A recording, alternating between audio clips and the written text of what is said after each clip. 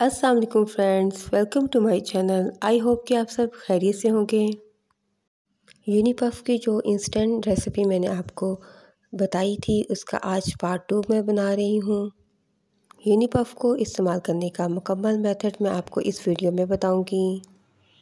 इस रेसिपी को देखने के बाद आपको ना तो यूनिपफ ख़रीदना पड़ेगा और ना ही पफ पेस्ट्री आप दोनों घर में बना सकते हैं। यूनिपफ के इंस्टेंट तरीके से आप हर तरह की बेकरी आइटम बना सकते हैं घर में।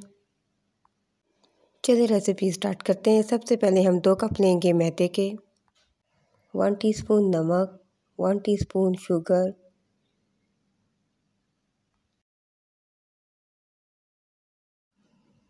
one table spoon इसमें डालूँगी ऑयल का।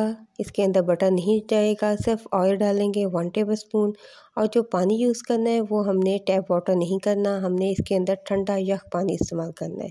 और थोड़ा थोड़ा पानी इस्तेमाल करेंगे। पहले तो हम ऑयल डाल के इसको अच्छा सा क्रम्स बनाएँगे, फिर थोड़ा थोड़ा पानी डालते जाएँगे। एक हार्ड हमने डो तैयार करनी है सॉफ्ट नहीं होनी चाहिए। डो तैयार हो चुकी है। इसको मैं दूँगी पाँच मिनट से सात मिनट का रेस्ट जस्ट हम पाँच से सात मिनट का रेस्ट देंगे। अब मैंने यूनिपफ ली है, जो मैं पहले इसकी वीडियो लगा चुकी हूँ। आप देख सकते हैं मेरे चैनल पे।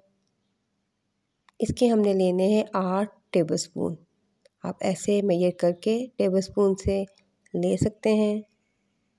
जस्ट आठ टेबल स्पून लेने हैं, उसको लेवल कर लेंगे। उसके बाद हम इसको हल्का सा बीट करेंगे। दो से तीन मिनट बीट कर लेंगे ताकि अच्छी फॉर्म में आ जाए। अब मैंने काउंटर पे डस्ट किया है मैदा। इसके ऊपर हम रखेंगे जो हमने डो तैयार की थी। इसको हल्का हल्का सा प्रेस करेंगे और इसको शेप देंगे। इसको थोड़ा सा फैला देंगे। बहुत सिंपल है, आप इजीली घर में बना सकते हैं। थोड़ी सी मेहनत लेकिन अच्छी, हेल्दी और साफ़ सुथरी चीज़ आप घर में खा सकते हैं। अब मैंने इसको टू पोर्शन में लगाना है। हाफ़ में पहले लगाऊँगी हाफ़ में बाद में लगाऊँगी।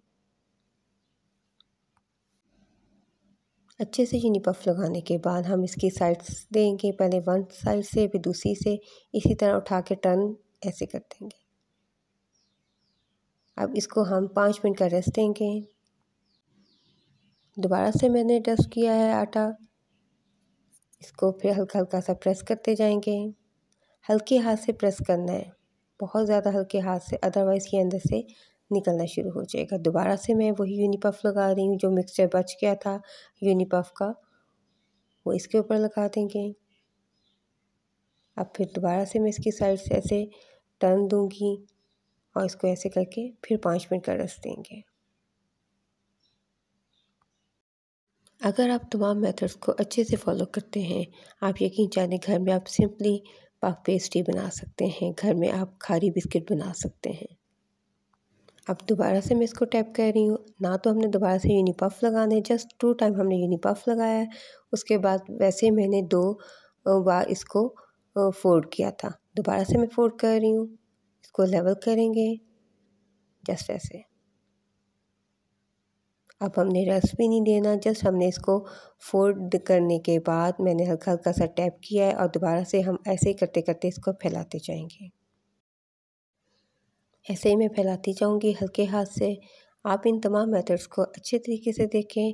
आप इजीली सिंपल तरीके से घर में बना सकते हैं। बहुत आसान है। शाम की चाय के साथ आप खारी बिस्किट बनाएँ। बहुत मज़े के क्रंची क्रिस्पी बनेंगे। हमने इसको बहुत ज़्यादा पतला नहीं बेलना अदरवाइज़ लेयर्स नहीं बनेगी। ये देखिए, इतना थिक होना चाहिए। अब हम इसकी साइड्स उतारेंगे एजिस जो है वो लास्ट में काटते हैं। अदरवाइज़ लेयर्स नहीं उभरेंगी, वो ज़्यादा फूलेंगी नहीं। ये मस्त मेथड होता है और ये लास्ट में करें, ये देखें। लेयर्स कितनी ज़्यादा बन चुकी हैं। अब मैं इसकी बाकायदा कटिंग करूँगी। आप अपनी मर्ज़ी से छोटे, बड़े कोई भी शेप दे सकते हैं। फ्रेंड्स, जो मेरे चैनल पर नए हैं, सो प्लीज़ प्लीज़ सब्सक्राइब करें, लाइक करें, शेयर करें, कमेंट करें। बेल आइकन को प्रेस करना मत भूलें। बहुत ज़बरदस्त किस्म की लेयर्स बनी है इसके अंदर। अब मैंने एक डिश ली है, उसके अंदर मैं वन बाय वन रखती जाऊँगी। ये देखें, सुपर डुपर बनी है। हमने इसे बेक करना है 200 डिग्री पर 15 से 20 मिनट। एक बार ज़रूर ट्राई करें। आप चेक कर सकते हैं कि लेयर्स कितनी सुपर डुपर बनी है। अब मैंने एक एग लिया है। मैंने इसका सिर्फ़ येलो पार्ट लिया है। इसको हल्का सा बीट करेंगे और ब्रश करते जाएँगे सबके ऊपर। एग लगाने से कलर बहुत ज़बरदस्त आता है। अब इसके ऊपर मैं थोड़ी थोड़ी सी शुगर डाल दूँगी। पंद्रह से सत्रह मिनट्स में ये इजीली बन जाती हैं। अब मैं इसे बेक करने रखूँगी। ये देखें, ज़बरदस्त किस्म की रेडी हो चुकी हैं। बहुत सिंपल है, आप घर में बनाएँ, ज़रूर ट्राई करें। Please friends support my channel मुझे आपकी सपोर्ट की बहुत ज़रूरत है। घर में आप सिंपली बना सकते हैं, बहुत मज़े की बनी है। देखने में ही बहुत मज़े की लग रही हैं और खाने में तो बहुत ही खस्ता है। इतनी मज़े की क्रंची है कि हाथ में पकड़ने की देर है कि ये लेयर्स अलग हो जाती हैं। इंशाल्लाह बहुत जल्द नेक्स्ट रेसिपी लेके आऊँगी। तब तक इजाज़त दें। अल्लाह हाफिज़।